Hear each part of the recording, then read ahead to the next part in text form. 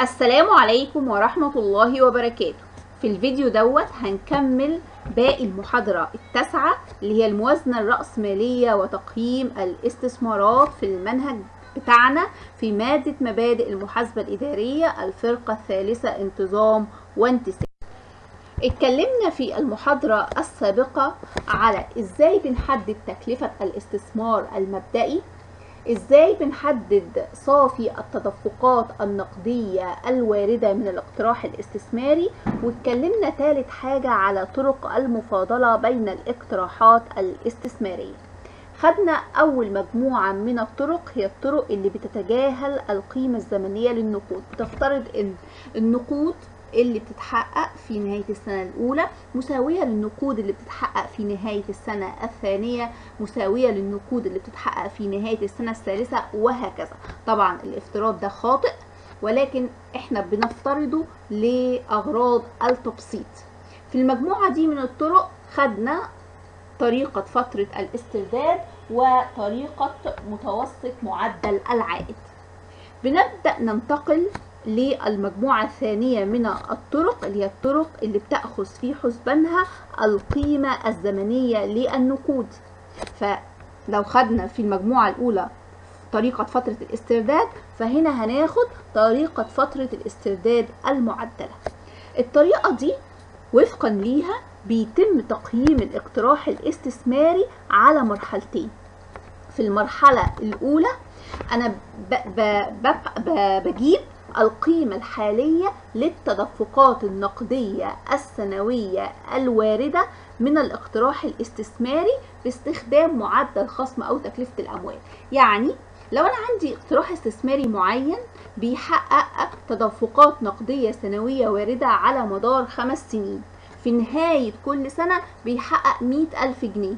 فأنا هروح البنك وأقول للبنك خد الاقتراح دوت اللي بيحقق لي مئة ألف جنيه في نهاية كل سنة لمدة خمس سنوات واديني قيمة التدفقات النقدية الواردة دي دلوقتي. فهيقول لي آه انت عايزة التدفقات النقدية اللي بتتحقق آه في نهاية السنة الأولى المئة ألف جنيه قيمتهم دلوقتي تسعة وتسعين ألف جنيه. طيب اللي بتتحقق في نهاية السنة التانية قيمتهم دلوقتي 88 ألف جنيه وهكذا. يبقى بنجيب القيمة الحالية للتدفقات النقدية الواردة من الاقتراح الاستثماري من خلال إن أنا بخصمها بمعدل خصم معين في المرحلة الثانية في المرحلة الثانية من هذه الطريقة أنا بحدد فترة الاسترداد اللي هي الفترة الزمنية اللازمة إن عشان إيه؟ علشان أسترد تكلفة الاستثمار المبدئي من القيمة الحالية للتدفقات النقدية السنوية الواردة. عايزة أعرف أنا محتاجة فترة زمنية قد إيه علشان أسترد تكلفة الاستثمار اللي أنا إيه؟ اللي أنا أنفقته في سبيل آه الاستثمار في هذا الاقتراح الاستثماري. طبعا هذه الطريقة بتتميز بأنها بتراعي القيمة الزمنية للنقود لكن بيعاب عليها إنها لا تركز على ربحية الاستثمارات أنا هنا بتكلم على التدفقات النقدية يبقى بتجاهل الربحية. كمان هي بتتجاهل التدفقات النقدية السنوية الواردة بعد فترة الاسترداد.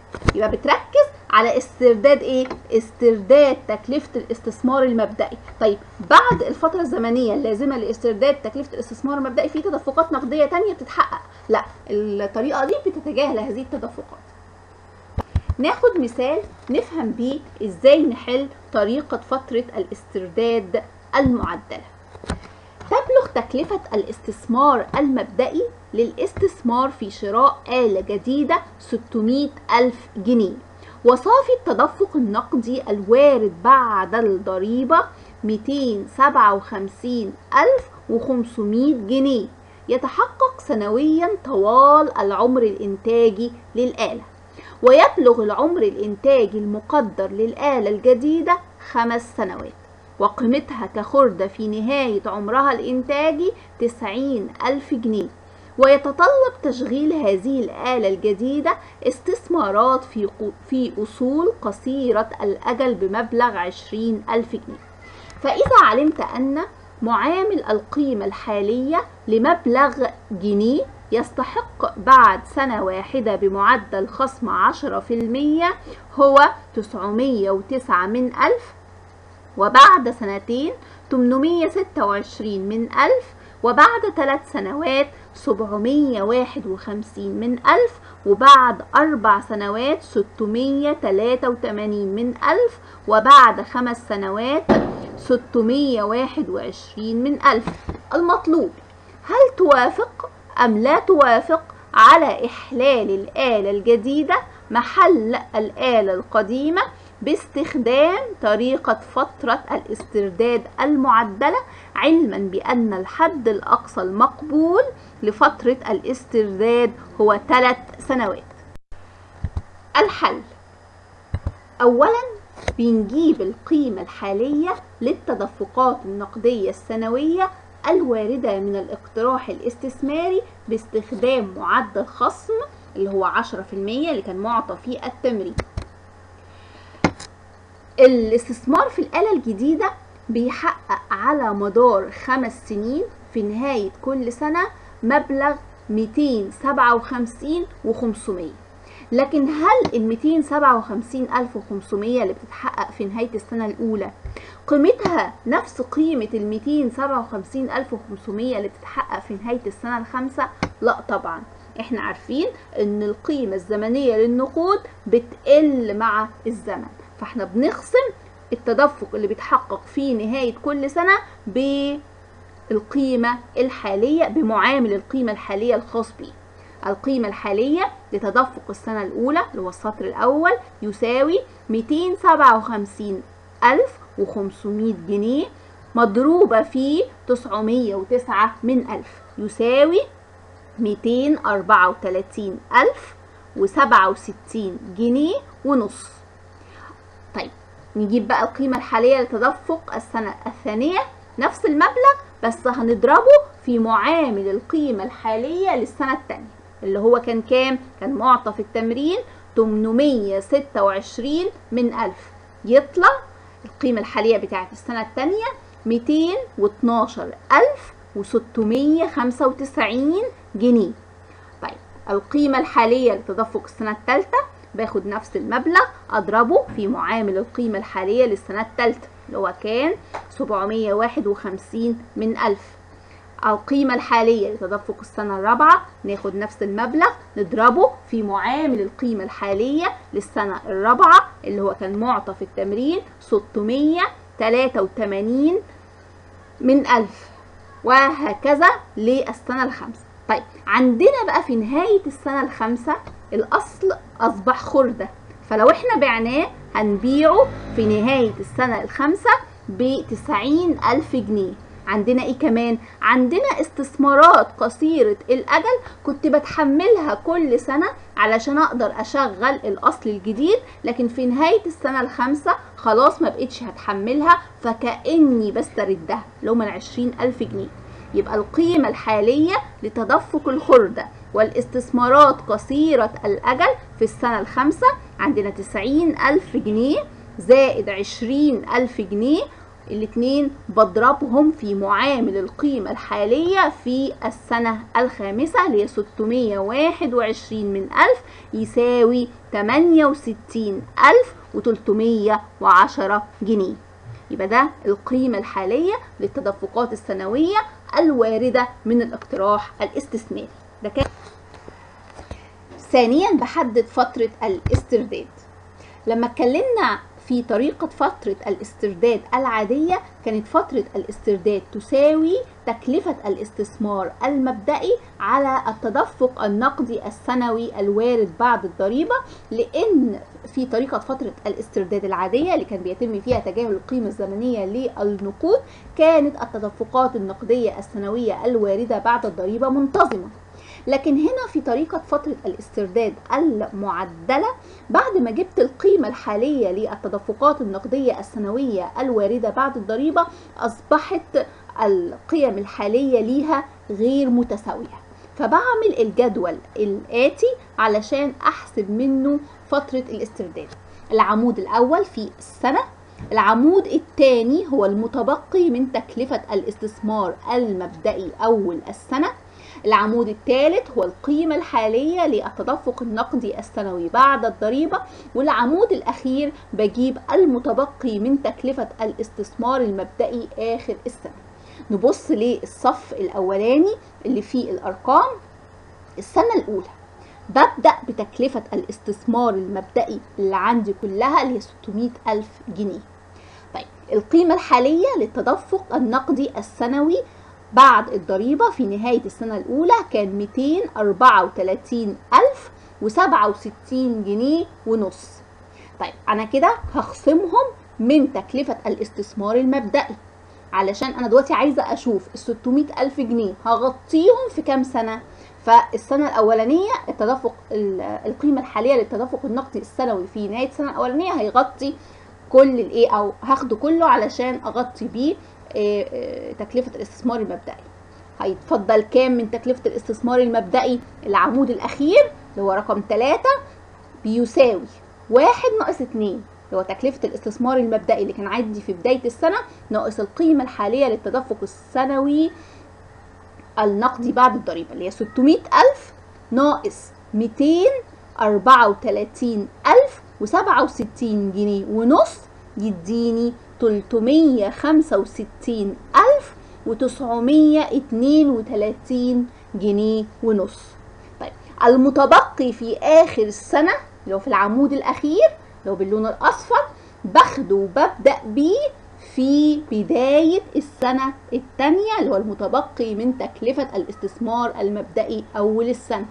طب المبلغ دوت هغطيه منين؟ هغطيه من القيمة الحالية للتدفقات النقدية السنوية بعد الضريبة في نهاية السنة الثانية اللي هو 212695 جنيه يبقى كده فاضل لي قد إيه من تكلفة الاستثمار المبدئي اللي هو رقم 3 اللي هي العمود الأخير اللي هو رقم 3 يساوي 1 ناقص 2 اللي هو دلوقتي أنا بتكلم على إيه يا جماعة؟ بتكلم على الصف الثاني الصف الثاني اللي هو السنة الثانية اللي هو العمود الأخير جه منين؟ جه من 360932 جنيه ونص ناقص 212695 جنيه يساوي 153237 ونص جنيه.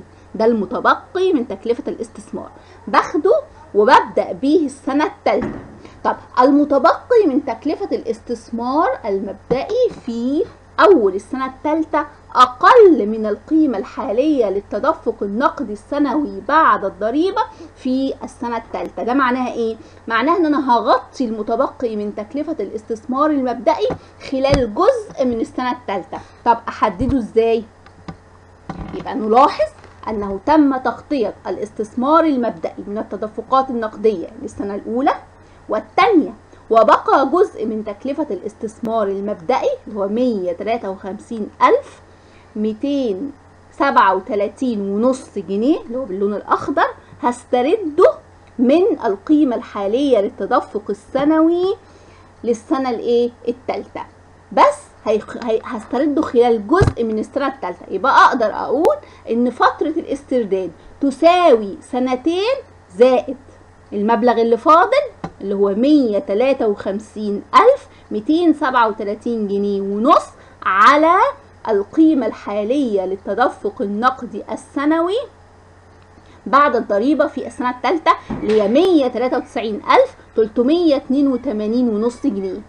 يبقى بقسم المتبقي من تكلفة الاستثمار في أول السنة الثالثة على القيمة الحالية للتدفق النقدي السنوي بعد الضريبة في السنة الثالثة يديني 79 من 100 من السنة.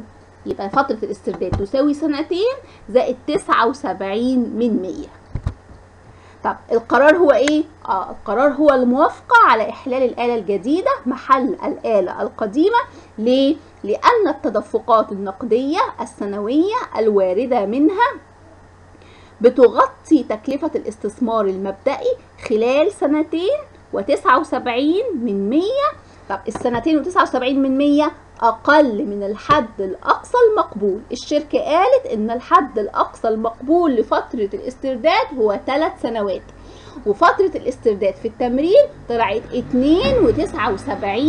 من 100 يبقى هي أقل من الحد الأقصى المقبول لفترة الاسترداد. يبقى القرار هو الموافقة على شراء أو إحلال الآلة الجديدة محل الآلة القديمة.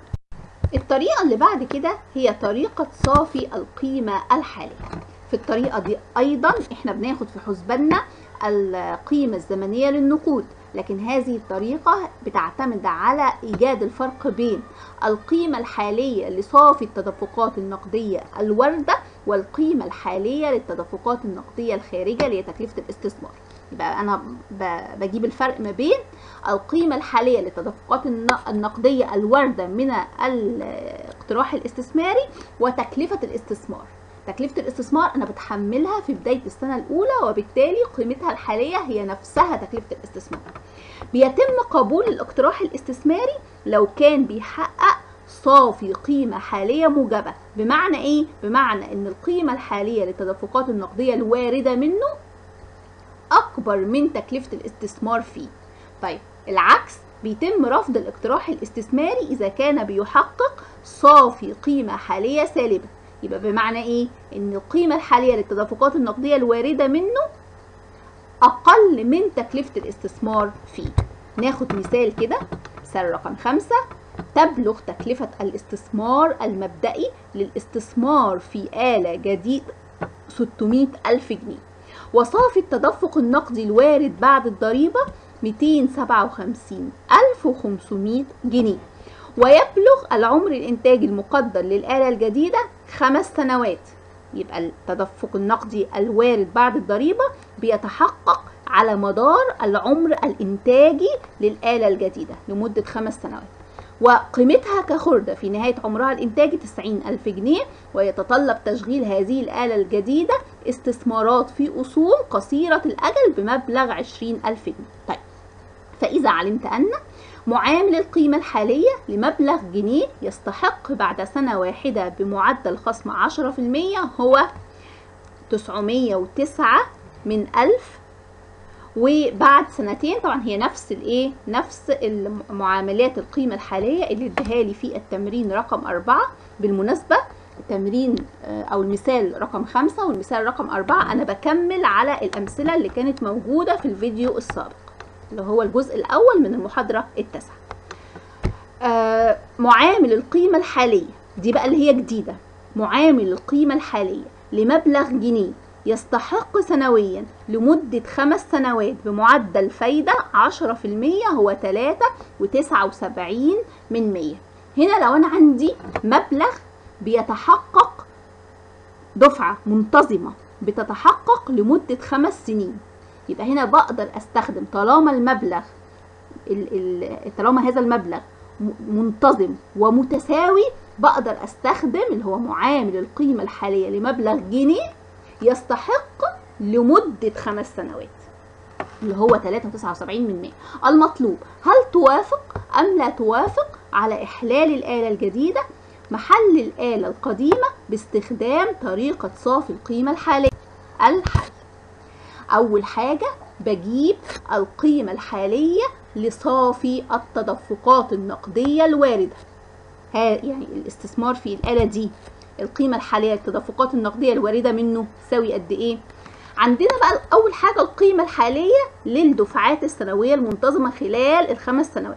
المبلغ اللي هو 257 1500 جنيه بيتحقق بانتظام لمدة خمس سنوات نفس المبلغ ده. يبقى في تساوي وانتظام لمدة خمس سنين. يبقى بستخدم اللي هو معامل القيمة الحالية لمبلغ جنيه لمدة خمس سنين اللي هو تلاتة وتسعة وسبعين من مية. يساوي يبقى بضرب ال 257 في 3 و79 من 100 يساوي 975 ألف و925 جنيه. طيب فاضل إيه؟ بضيف القيمة الحالية للخردة والاستثمارات قصيرة الأجل في السنة الخامسة زي ما قلنا إن في نهاية السنة الخامسة الآلة ممكن أبيعها كخردة بمبلغ 90 ألف جنيه وفي استثمارات قصيرة الأجل أنا ما بقتش هحتاج ليها فبالتالي كأني بستردها اللي هي 90 ألف زائد 20 ألف بخصمهم بإيه؟ بخصمهم باستخدام معامل القيمة الحالية لمبلغ جنيه يتحقق في السنة الخامسة اللي هو 621 من ألف. تساوي 68 و 300 68 ألف 310 جنيه. طب ده مجموعه إيه؟ يبقى مجموع القيمة الحالية لصافي التدفقات النقدية الواردة اللي هو 975 ألف 925 جنيه زائد 68 ألف و 310 جنيه. دولت مع بعض مجموعهم يديني مليون وأربعة وأربعين ألف وميتين خمسة وتلاتين جنيه. دي كان إيه؟ دي كانت القيمة الحالية لصافي التدفقات النقدية الواردة. لو نلاحظ إن في التمرين الخاص بفترة الاسترداد المعدلة كانت بردك الدفعاء كان التدفقات النقدية السنوية منتظمة. بس أنا ما استخدمتش اللي هو معامل القيمة الحالية لمبلغ واحد جنيه يتحقق لمدة خمس سنين أنا خصمت كل دفعة باستخدام معامل القيمة الحالية الخاص بالسنة بتاعتها علشان في طريقة فترة الاسترداد المعدلة كنت ببقى عايزة أعرف التدفق النقدي القيمة الحالية للتدفق النقدي في كل سنة قد إيه لأن أنا محتاجة أعرف أنا هسترد تكلفة الاستثمار المبدئي خلال كام سنة فمحتاجة أجيب القيمة الحالية لكل سنة لوحدها. طيب نكمل. يبقى أول حاجة تحديد القيمة الحالية لصافي التدفقات النقدية الواردة.